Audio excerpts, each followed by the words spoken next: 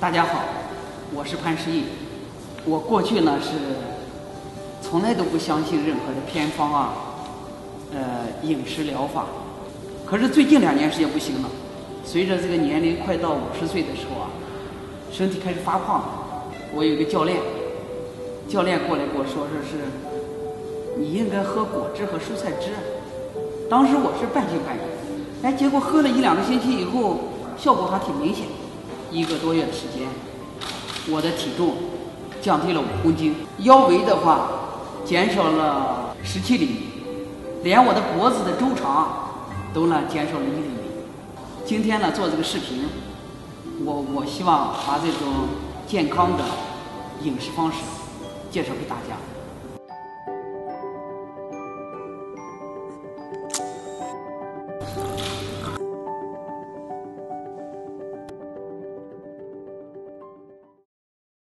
每天早上起来喝的第一杯果汁呢，要稍微清淡一点。一般呢，每种果汁里面都要加点苹果。苹果是好东西，放上两个苹果，有了四分之一个柠檬、西红柿、青椒、胡萝卜，加点葡萄，再呢加上一点姜。苹果的话切开，一定要把这个苹果的籽加到里面去。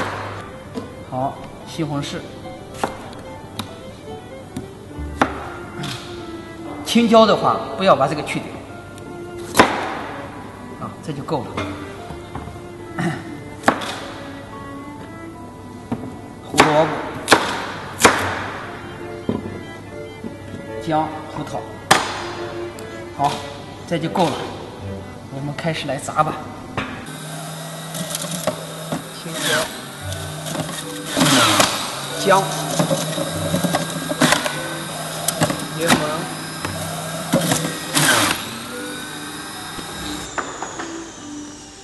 这个，这个，这个炸完之后，还有两样好东西。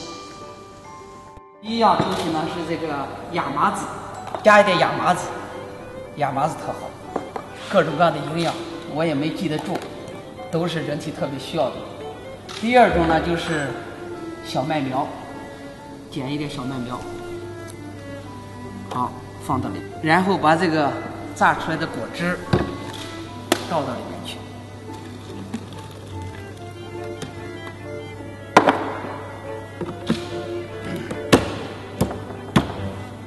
然后用这个速度，一开始速度不要太高，然后再用高速，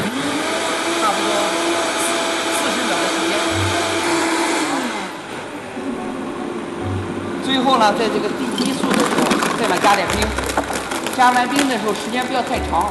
没有这个大的声声音了就可以了。这样的话，这杯果汁就做好了。